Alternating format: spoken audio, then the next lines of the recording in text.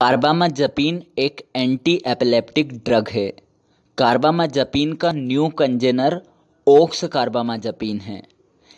यह कार्बामाजपीन के similar efficacy similar indication show करता है बट लेस टॉक्सिक है कार्बामाजपीन से। अब मैकेनिज्म ऑफ़ एक्शन कार्बामाजपीन की site of action motor cortex है, जहाँ यह सीजर को इनहिबिट करता है। यदि हम नॉर्मल सोडियम चैनल की बात करें तो यह तीन स्टेट में रहता है। फ़र्स्ट रेस्टिंग स्टेट में। यहाँ पर एक्टिवेटेड गेट क्लोज रहता है। मतलब अपर गेट क्लोज होता है। सेकंड स्टेट है एक्टिवेटेड स्टेट जहाँ दोनों गेट ओपन होते हैं, जिससे सोडियम का इन्फ्लक्स होता है डीपोलराइजेशन होता है। थर्ड स्टेट है इनएक्टिवेटेड स्टेट जहाँ इनएक्टिवेटेड गेट मतलब लोअर गेट क्लोज होता है। ये नॉर्मल है। यदि हम कार्बामाजपीन देते हैं तो वह सोडियम चैनल से बाइंड होता है। किस स्टेट में? इनएक्टिवेटेड स्टेट में।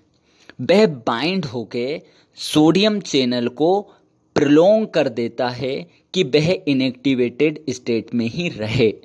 तो प्रोलोंग्स इनएक्टिवेटेड स्टेट जिससे रिड्यूस न्यूरोनल एक्साइटेबिलिटी अब यह लिथियम लाइक एक्शन भी शो करता है। इसीलिए इसे मेनिया बाइपोलर डिसऑर्डर और मूड डिसऑर्डर में यूज़ करते हैं। यह एंटी डायूरेटिक एक्शन भी शो करता है। इसलिए enhance ADH on renal tubule अभी यदि एडवर्स इफ़ेक्ट की बात की जाए तो हम हेड से रिमेंबर कर सकते हैं।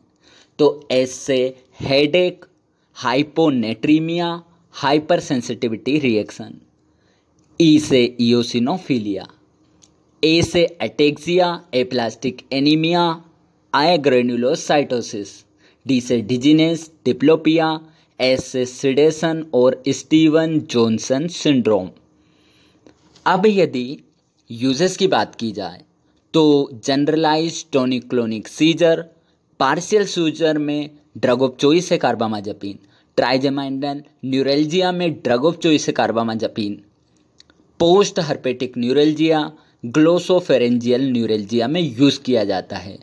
बाइपोलर डिसऑर्डर में, क्योंकि लिथियम लाइक एक्शन है। मेनिया डिप्रेसिव साइकोसिस। डायबिटीज़ इंसिपिडस में, क्योंकि एंटी डायूरेटिक एक्शन है। इंपॉर्टेंट है कि ये एक्सरबेट करता है मायोक्लोनिक अपसेंस और एटोनिक सीजर को। तो यहाँ कारबामाजपिन नहीं देना। Thank you